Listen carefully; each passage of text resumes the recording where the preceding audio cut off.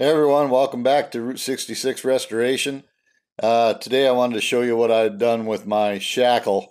Um, this is the rear shackle off my 57 210 and the uh, the nut here, uh, this one came loose but the top one had broke off. Um, you know, and, and you got to buy things 25, 30 bucks, whatever, pays shipping. Um, so I tried to figure out a way that I could fix this thing. Now this this top shaft is actually 5 eighths in diameter. So this one's 5 eighths also. So a 5 eighths bolt worked. I went and got a grade 5. And then I cut the head down and I uh, pushed the old one out. And then I cut this one down and I put this in and I, I've tack welded it.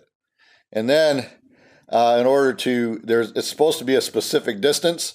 So what I did was uh, I, I tightened it, put the old stud in here. I tightened it to where it's supposed to be and then uh, put this nut on and cut it off. I did have to cut uh, uh, drill this hole out to 5 eighths because it's actually like almost like 9 sixteenths or something on on uh, on this lower one.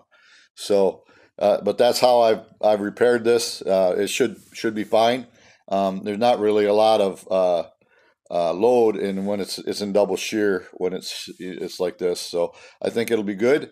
Um, but that's how I repaired it. Uh, this was a full size nut. When I cut the cut it to length to get the right width in here, this is uh, where where it bottoms out. So uh, looking forward to getting this uh, in and installed on the 57, and uh, hopefully she'll work just fine. So, anyways, uh, thanks for watching and taking time. if you can like and subscribe, and you can comment, um, it'd be good to hear from you. So take it easy.